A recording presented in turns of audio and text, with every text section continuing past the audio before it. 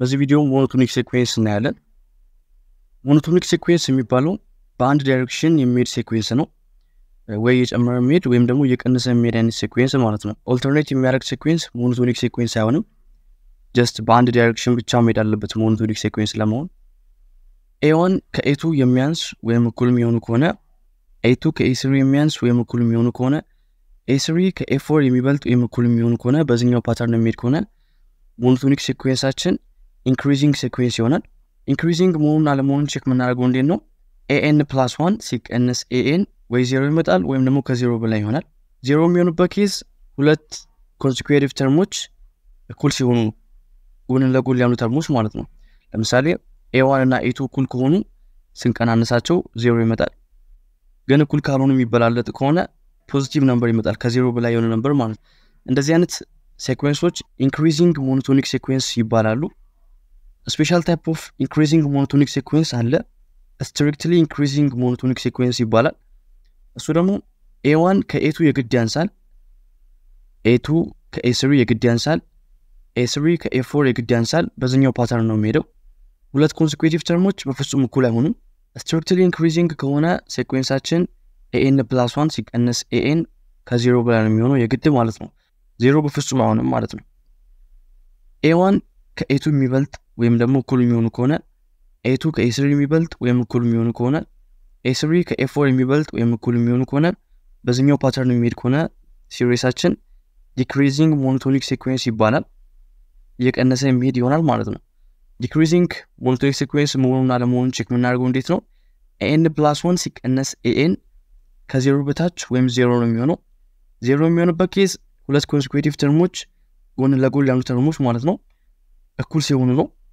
እኩል ካልሆኑ a n plus one ሲቀነስ a n ከዜሮ በታች ነው የሚሆኑ negative number ይሆናል ማለት ነው። special type of decreasing sequence አለን።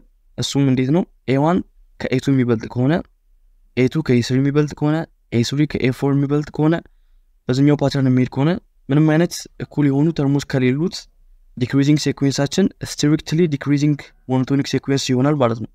እሱ እንዴት ነው check የምናደርገው? a n plus one ሲቀነስ a n ከዜሮ በታች ነው የሚሆኑ በፍጹም ዜሮ አይሆኑም ማለት ነው።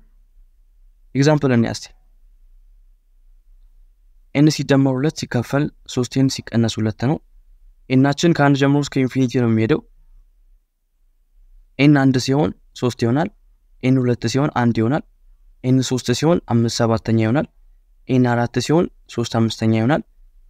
እንደዚህ እያለ የቀጠለ የዚኛው sequence limit አንድ ሶስተኛ ይሆናል። ይሄኛው sequence ምን አይነት monotonic sequence እንደሆነ check እናደርግ። ዝም ብለን አይተን decreasing sequence እንደሆነ ማወቅ እንችላለን።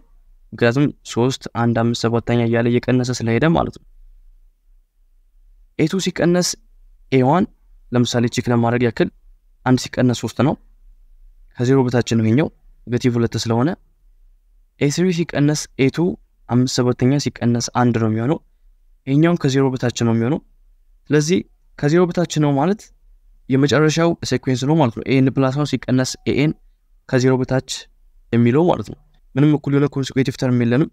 ስለዚህ n plus ሲቀነስ n ከዜሮ በታች ስለሆነ series አችን strictly decreasing monotonic sequence ይሆናል ማለት ነው። ሌላ ratio test የሚባል አለ። ratio test ምንድን ነው? ምን አይነት sequence እንደሆነ check የምናደርግበት ሌላኛው መንገድ ነው። increasing መሆኑን፣ strictly increasing መሆኑን፣ decreasing መሆኑን ወይም ደግሞ strictly decreasing መሆኑን test የምናደርግበት method ነው። n plus one ሲካፈል a n ከአንድ በላይ ወይም አንድ ከሆነ series አችን increasing monotonic sequence ይሆናል። n plus one ሲካፈል a n አንድ ወይም ከአንድ በላይ ከሆነ sequence አችን increasing monotonic sequence ይሆናል ማለት ነው። n plus one ሲካፈል a n ከአንድ በላይ ከሆነ ግን አንድ ካልሆነ ማለት ነው sequence አችን strictly increasing monotonic sequence ይሆናል። ግን ምናልባት ሁለት consecutive term ኦች እኩል ከሆኑ n plus one ሲካፈል a n አንድ ሊመጣ ይችላል። አንድ መጣ ማለት በ sequence አችን ላይ ሁሉም term ኦች እኩል ናቸው ማለት አይደለም። ነገር ግን ምናልባት እኩል የሆነ consecutive term ከተገኘ እንደማለት ነው። እንደዛ ከሆነ increasing ብቻ ነው የሚሆነው፣ strictly አይሆንም። ነገር ግን እኩል የሆነ consecutive term በ sequence አችን ላይ ከሌለ just strictly increasing ብቻ ነው የሚሆነው ማለት ነው። n plus one ሲካፈል n ከአንድ በታች ወይም አንድ ከሆነ sequence አችን decreasing monotonic sequence ይሆናል። n plus one ሲካፈል n ደግሞ ከአንድ በታች ከሆነ አንድን ሳያካት sequence አችን strictly decreasing monotonic sequence ይሆናል። በዚህኛውም example ለማየት እንሞክር እስቲ። ሁለት ሶስተኛ to the power of n ነው። የ n value ከዜሮ ጀምሮ እስከ positive infinity ነው የሚሄደው። n አችን ሁለት ሶስተኛ to the power of n ነው። n plus one አችን ደግሞ ሁለት ሶስተኛ to the power of n plus one ነው የሚሆነው። ስለዚህ n plus one over a n የሚሆነው ሁለት ሶስተኛ to the power of n plus one ሲካፈል ሁለት ሶስተኛ to the power of n ነው የሚሆነው። ሁለት ሶስተኛ to the power of n plus one በሌላ expression ሁለት ሶስተኛ to the power of one times ሁለት ሶስተኛ to the power of n አድርገን ማስቀመጥ እንችላለን። ሲካፈል ሁለት ሶስተኛ to the power of n ይሆናል የታችኛው። ሁለቱ term ኦች ይጠፋሉ። ስለዚህ የሚቀረን ሁለት ሶስተኛ ብቻ ይሆናል ማለት ነው። ሁለት ሶስተኛ ደግሞ ከአንድ በታች ነው። ስለዚህ sequence አችን strictly decreasing monotonic sequence ይሆናል ማለት ነው። ሌላ example እንይ ሶስት to the power of n plus one ሲካፈል አራት to the power of n minus two ነው። n አችን ከአንድ ጀምሮ እስከ positive infinity ነው። በሌላ expression በዚህ መንገድ ማስቀመጥ እንችላለን። three to the power of one times three to the power of n ይህ ማለት three to the power of n plus one እንደማለት ነው። just በሌላ expression ለማስቀመጥ ያክለው አራት to the power of n minus two ን ደግሞ አራት to the power of minus two times አራት to the power of n አድርገን ማስቀመጥ እንችላለን። አራት to the power of negative two ን ወደ ላይ ወስደን አስራ ስድስት ማድረግ እንችላለን። አራት to the power of two ማለት ነው።